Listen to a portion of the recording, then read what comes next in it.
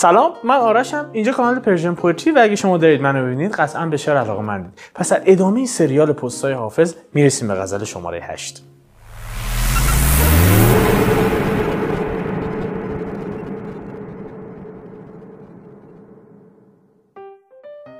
خب بریم سراغ غزل هشتم دیوان حافظ. هفت غزل قبلی رو قبلا تفسیر کردیم. خیلی دیدم که این غزل رو مصادره به مطلوب کردن و تفسیر عارفانه ازش داشتن.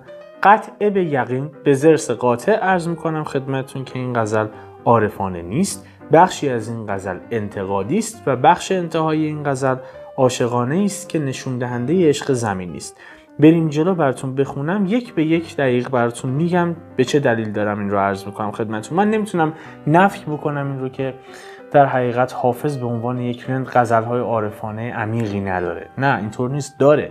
واقعا غزل های عارفانه بسیاری داره. اتفاقا چون همین هفت غزلی هم که بررسی کردیم چند غزل عارفانه هم از حافظ داشتیم. ولی اینطور نیست که هر جا که حافظ از می صحبت می‌کنه و از شراب صحبت می‌کنه صرفا از می محبت الهی و معبود صحبت می‌کنه. نه اینطور نیست. حافظ به عنوان یک نظرباز یک رند عاشق پیشه هم بود. من شعر رو بخونم بعد میریم سراغ منش. میگه ساقیا برخیز و درده جام را. خاک بر سر کن غم ایام را. ساغر می بر کفم نه تا زبر برکشم این دلق از رغفام را. گرچه بدنامی است نزد عاقلان ما نمی‌خواهیم ننگ و نام را. باده درده چند از این باد غرور خاک بر سر نفس نافرجام را. دود آه سینه نالان من سوخت این افسردگان خام را. محرم راز دل شیدای خود کس نمی بینم ز خاص و عام را. با دلارامی مرا خاطر خوش است که از دلم یک بار برد آرام را. ننگرد دیگر به سرو در چمن هر که دید آن سرو سیمندام را. صبر کن حافظ به سختی روز و شب. عاقبت روزی بیابی کام را.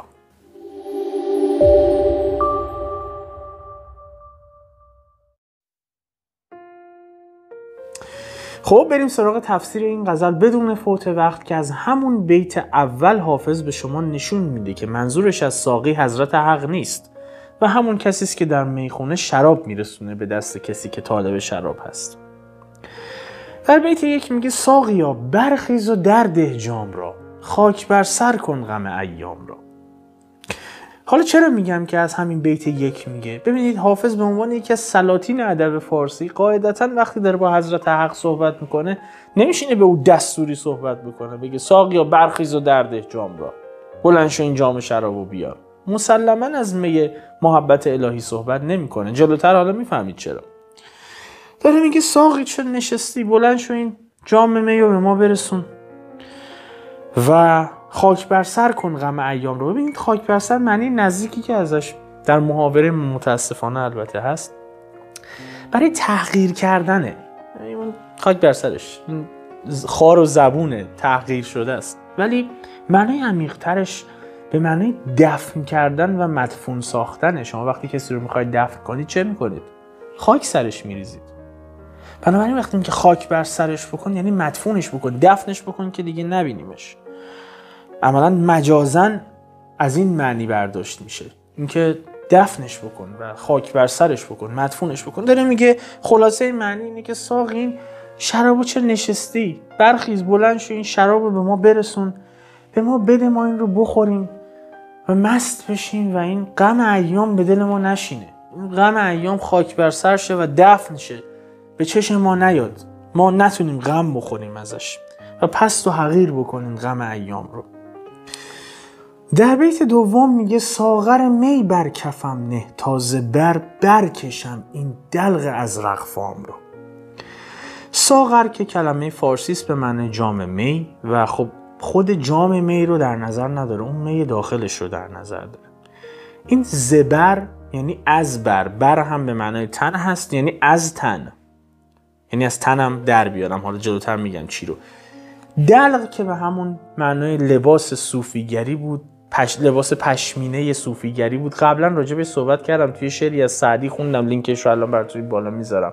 می‌گفت من از این دلق مرقع به درایم روزی تا همه خلق بدانند که زناری هست. دلق به معنای لباس پشمینه صوفیگری هست که اگر این لباس مندرس و وصل پینداری بود و خیلی ارزش مادی نداشت بهش می‌گفتن دلق مرقع. و اگر نه دلق رنگارنگی بود ارزش داشت درست درمون بود نو بود بهش می‌گفتن دلق ملمع. حالا اضافه بر سازمان گفتم که بدون اگر جای دیگه برخورد کردیم با این تعابیر. و ازرق به معنای نیلی و کبود رنگ هست. ازرق فام یعنی نیلی رنگ کبود رنگ یا نزدیک به سیاه رنگ. داره میگه اون جام می و وردار بیار بده به من. من این رو بخورم. مست بشم. و در مستی جسارت این رو پیدا بکنم. که این دلق ازرق فام رو چاک بزنم از سر درارم از تن بیرون کنم این لباس رو. حالا به چه دلیل؟ ببین بیت خیلی بیت عمیقی است. داره میگه این جام می وقتی به من میدی من مست میشم. این جسارت و صداقت رو پیدا می‌کنم. که دیگه درو نباشم. چون از اون ابتدای صحبت من از غزل یکی که من راجع حافظ شروع کردم با شما صحبت کردن عرض کردم با زهد و تصوف ریاکارانه مشکل داره. با صوفیگری خالص و صادقانه و اصیل مشکل نداره. چه کسی می‌تونه مشکل داشته باشه؟ ولی اون معتقد بسیاری از این کسانی که در لباس صوفیگری هستن دارن زهد ریاکارانه رو پیشه می‌کنن. یعنی یک دامی رو پهن می‌کنن برای منفعت کسب کردن از اون لباس از صوفیگری. ولی در حقیقت زهد و تقوا ندارن. همش ریاس. اینجا هم داره به ما یه تعبیری داریم. از قدیم داشتیم الان هم داریم. که میگیم مستی و راستی. یعنی اگه کسی شراب بخوره و مست بشه این در اون عدم هوشیاری که نسبت به جهان بیرونی داره اونقدر نمی‌تونه آنالیز بکنه که به شما دروغ بگه. و اگه سوالی ازش بپرسید این جسارت و صداقت رو پیدا می‌کنه که حقیقت رو به شما بگه یعنی وقتی که مست میشه از درویی فاصله می‌گیره. نمی‌تونه ظاهرش رو یه شکل بکنه کلامش رو یه شکل بکنه و درونش شکل دیگری باشه دیگه. بنابراین وقتی که مست میشه راست میگه صادق میشه.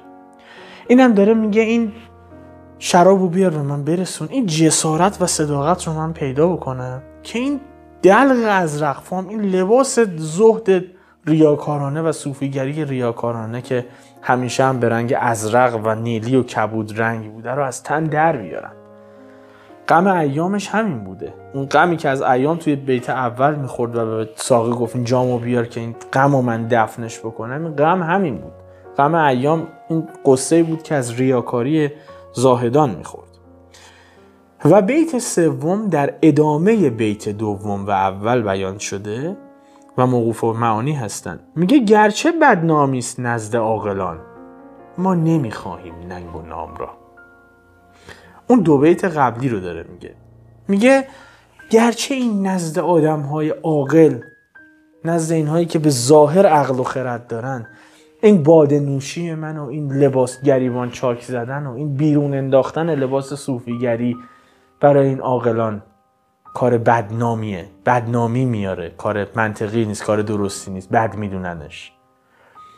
ما نمی‌خواهیم ننگ و نام را. قبلا هم گفتم این ننگ و نام جای دیگه هم مطرح شده بود. ننگ و نام این دو معنی متضاد دارن. ننگ به معنای بدنامی هست و نام به معنای نام خوش هست. ولی این بغل هم وقتی میان ننگ و نام به معنای اعتبار آبرو و حیثیت هستن. داره میگه ممکنه این عمل کرده من این که من شراب می نوشم و بین این صوفیا لباس صوفیگری رو میریزم دور. نزد اینایی که به ظاهر عاقل هستن کار بدنام کننده ای بیاد کار منطقی نیاد کار بدی به نظر بیاد. ولی اگر آبرو و حیثیت این صوفیگری ریاکارانه و زهد ریاکارانه و بیتقوایی است من این ننگ و نام و آبرو و حیثیت رو نمی‌خوام. مال خودتون. من نمی‌تونم ریاکار باشم. من رندم. بیت چهارم میگه باده درده. چند از این باده غرور خاک بر سر نفس نافرجام را؟ اینجا دوباره از لفظ خاک بر سر استفاده می‌کنه که جلوتر عرض می‌کنم خدمتون به چه معنی است. داره میگه این جام می هنوز داره با ساقی صحبت می‌کنه. میگه این جام می وردار بیار تو تمام این چهار بیت گذشته تو سه بیتش داشت با ساقی صحبت می‌کرد که این جام می وردار بیار بده به من. داره میگه باده بده. چقدر این کبر و غرور رو تبختر دیدید باد غرور که میگن اینا که میشینن باد می‌کنن تو قبقبشون با شما با تبختر و غرور صحبت می‌کنن. داره میگه برای چی نفست نافرجامه؟ فرجام به معنای پایان یک اتفاق هست. و نافرجام یعنی اون اتفاقی که پایان خوشی نداره. و داره میگه این نفس این نفس نافرجام که پایان خوشی نداره در انتها خاک بر سر میشه. یعنی در انتها میمیرید و این نفستون دفن میشه زیر خروارها خاک. خاک بر سر میشه خاک میریزیم سرش. پس نتیجهش همونه. پس چجوری اینقدر به نفسانیت می‌پردازید؟ هنوز داره صوفیان ریاکار رو نقد می‌کنه. داره میگه تا کی اینقدر باد غرور دارید؟ میشینید. ریاکاری می‌کنید خودتون رو در جایگاهی می‌بینید که درس و وضع بدید به این بگید این درسته اون غلطه. پیشنهاد بدید قضاوت بکنید. شما اصلا تا کی این باد غرور رو درون خودتون دارید؟ تا کی باد توی قبقبتون میندازید؟ با تبختور با همه صحبت می‌کنید. این نفس نافرجام شما خاک بر سر میشه در انتها. و در بیت بعدی ادامه میده. میگه دود آه سینه نالان من سوخت این افسردگان خام را. هنوز داره با ساقی صحبت می‌کنه. داره میگه بیار بیار اون شرابو که این سینه من داره میسوزه و از این سوزش سینه من یه آهی بلند میشه که این آه یک دودی داره که میسوزونه این افسردگان خام را. افسردگان خام منظورش همین صوفیان خام طمع و ریاکاره. داره میگه این دودی که از سینه من داره بلند میشه این آهی که من دارم می‌کشم این غم ایامی که من دارم که بابتش این دود از سینه من بلند میشه روی این افسردگان خام رو سیاه می‌کنه. افسردگان خام خام از این نظر که اینا تجربه زندگی ندارن. اینا نمی‌فهمن که زندگی این درویی و ریاکاری نیست. اینا نمی‌فهمن زندگی گذراست یک مهلت کوتاهی دارن توی زندگی. باید ازش استفاده بکنن صداقت به خرج بدن. عملا مثل ما رند باشن خودشون باشن و از دنیا برن. بنابراین خامن و افسرده هم هستن به خاطر همین لباس صوفیگری ریاکارانه که تن می‌کنن. همیشه در حال اجزا و ناله هستن اشکریزان هستن برای ریاکاری. ظاهرشون رو ناراحت و در غم معبود نشون میدن ولی از در داخل اینجوری نیستن. چون به خلوت می‌روند آن کار دیگر می‌کنند. هنوز داره به همونا اشاره می‌کنه. در بیت شیشم کماکان داره با ساقی صحبت می‌کنه و یه مقدار از این فضا فاصله می‌گیره و شروع می‌کنه یه مقدار از معشوقش هم صحبت کردن. میگه محرم راز دل شیدای خود کس نمی‌بینم ز خاص و عام را. داره میگه این دل شیدا یعنی دل عاشق پیشه و شیفته و مجنون. میگه من کسی رو توی خاص و عام از این آدمای اطرافم نمی‌بینم که محرم این باشه که من راز دلم رو بهش بگم. محرم این راز دل من کسی نیست. اطراف منو یه مش صوفی و زاهد گرفته که عشق و عاشقی رو خلاف می‌دونن درست نمی‌دونن. فکر می‌کنن همیشه عشق باید فقط به معبود باشه. من نمی‌تونم این رازم رو بیان بکنم. ساقی بیا تو این جام می و بیار که از خاص و عام نمی‌تونم با کسی حرف بزنم. بیار این جام می و بخوریم. مست بشیم و با هم راجبش صحبت بکنیم با تو درد و دل بکنم که در بیت بعدی میگه درد و دلش رو. میگه با دلارامی مرا خاطر خوش است که از دلم یک باره برد آرام را. ما یک آرایه داریم به نام آرایه تضاد که یک مفهوم متضاد رو بیان می‌کنه. ببینید دل آرام در مصرع اول به معنای کسی هست یا چیزی هست که شما وقتی به او دل می‌دید باعث آرام شدن دلتون میشه. دل آرام هست. یعنی شما وقتی که به او عشق میورزید این عشق برای شما آرامش به همراه میاره. داره میگه به ساقه میگه با دلارامی مرا خاطر خوش است که اتفاقا واسه من یکی برعکس کار می‌کنه. که از دلم یک باره برد آرام را. که به محض اینکه دیدمش آرامش و قرار رو از دل من رو بود و رفت عشق این عشق عشق زمینی است. برای همین عرض می‌کنم. عشق زمینی این خاصیت رو داره. ولی کسی که با معبود پیوند می‌خوره تا قبل از هجران رو کاری یعنی تا قبل از وسال در غم هجران بودن رو کاری ندارم. ولی وقتی با معبودش وصل میشه با حضرت حق وصل میشه او فقط بهش آرامش میده. عملا واقعا دلارامه. یعنی به عشق او و با توکل به او همه اموراتش رو انجام میده و این عشق باعث آرامشش میشه. عشق زمینی است که باعث میشه شما دچار تشویش بشید. اینجا هم همین رو داره میگه. داره میگه منو من دلم دسته دلارامیه. من با دلارامی با معشوقی خاطرم خوش میشه که به یک باره آرام و قرار رو از دل من گرفته. یعنی برعکس کار کرده. در اصل دلارام به نظر می‌رسه ولی آرام و قرار رو از دل من رو بوده. این بهش میگن آرایه تضاد که به زیبایی مطرحش کرده. و در بیت بعدی تفسیر می‌کنه این معشوق رو. میگه ننگرد دیگر به سرو در چمن هر که دید آن سرو سیمندام را. داره توضیح میده بهش میگه کسی دیگه کسی اون محبوب خوشقد و قامت و در حقیقت سیمندام یعنی سیمین اندام یعنی سفید اندام مثل نقره سفید و درخشان. اندامش اون شکلی بوده داره اینجوری بیانش می‌کنه. الان چه جوری برونز میپسندن اون زمان سیم اندام میپسندیدن. داره میگه ننگرد دیگر به سرو در چمن. ننگرد یعنی نگاه دیگه نمی‌کنه کسی. به سرو با اون قد و قامت بلندش و راست قامتیش میگه وقتی کسی این محبوب و معشوق سیمین اندام و سفید اندام من رو می‌بینه که مثل نقره درخشانه دیگه اصلا به سرو توی چمن نگاه هم نمی‌کنه.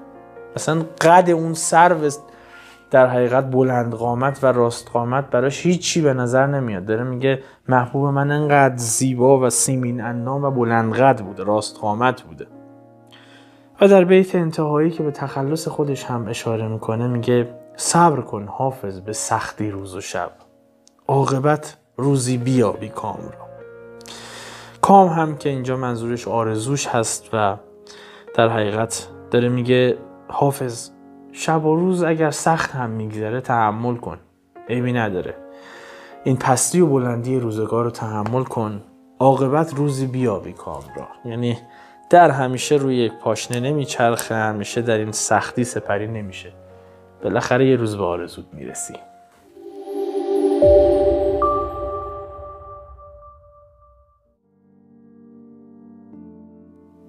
خب ممنون از اینکه این پست رو هم همراه من بودید. تا انتها حقیقتا حافظ متخصص سرودن غزل است که ابیاتش تک به تک مفاهیم مستقل دارن. ولی در انتها وقتی اینا رو به اجتماع میرسونید و کلی نگاه می‌کنید می‌تونید ازش یک برداشت واحد بکنید. ارز کردم که این غزل غزل عارفانه نیست و عملا ساقی اینجا منظورش حضرت حق نیست چون اولا دستوری باهاش صحبت می‌کرد. ثانیا یعنی اینکه داشت غم ایام رو می‌خورد. نه غم عشق نه غم عشق او. به خاطر اینکه غم عشق اتفاقا غم مقدسی است. هیچ وقت غم عشق رو در موقعیتی قرار نمیده که به ساقی بگه بیارین و خاک بر سرش بکنی. نه داره راجع به غم ایام صحبت می‌کنه. و بنابراین راجع به عشق زمینی صحبت می‌کنه. این یک و دو اینکه تو این غزل هم به شما نشون می‌داد که حافظ علا رغم سیر و سلوکی که داشت علا رغم مسیر خاصی که در ره عرفان داشت و خودش رو رند می‌دونه چقدر با ریاکاری و صوفیگری مشکل داشت. و با تصوف در حقیقت ریاکارانه با تصوف اصیل نه. به هر حال راجع به حافظ بسیار صحبت کردیم و بسیار مونده که صحبت بکنیم. هشت غزلش رو با هم رفتیم و قول داده بودم که تا انتها با هم بررسیش می‌کنیم. بنابراین برای اینکه پست های بعدی رو از دست ندید اگر کانال من رو هنوز در یوتیوب subscribe نکردید و دارید من رو از یوتیوب می‌بینید حتما کانال رو subscribe بکنید زنگوله رو بزنید که از پست های بعدی جان نمونید. اگر در اینستاگرام من رو می‌بینید همینطور. حتما channel من رو و page من رو follow بکنید که بقیه پست ها رو از دست ندید. پست های متفاوتی توی اینستاگرام هم می‌بینید. یه گزیده ای از اشعار بعضی از شعرا براتون می‌ذارم. در حد یکی دو بیت که بخونید و لذت ببرید. و بقیه شبکه های اجتماعی من که لینک همش توی description هست و می‌تونید هر کدوم که براتون دسترسیش راحت تره درش join بشید و لذت ببرید. و نکته بعدی که عرض می‌کنم خدمتتون اینه که اگر قصد همیاری با مجموعه Persian Poetry در جهت بهبود کیفیت و استمرار این ویدیوها دارید اگر در ایران من رو می‌بینید می‌تونید از لینک IDPay مجموعه Persian Poetry و اگر بیرون از ایران من رو می‌بینید می‌تونید از لینک PayPal مجموعه Persian Poetry استفاده بکنید. اما بزرگترین کمکی که شما با این مجموعه می‌تونید بکنید اینه که حتما نظراتتون رو کامنت بکنید. این مباحثه ای که زیر پست ها میشه رو من پذیرا هستم. اگر انتقاد یا پیشنهاد یا هر نظری که دارید برای من حتما بذارید. اگر شعر رو می‌خواید بررسی بکنیم حتما توی کامنت ها برای من بذارید. اگر هم این محتوا رو دوست داشتید لایک فراموش نشه. توی پست های بعدی میبینمتون. به سلامت.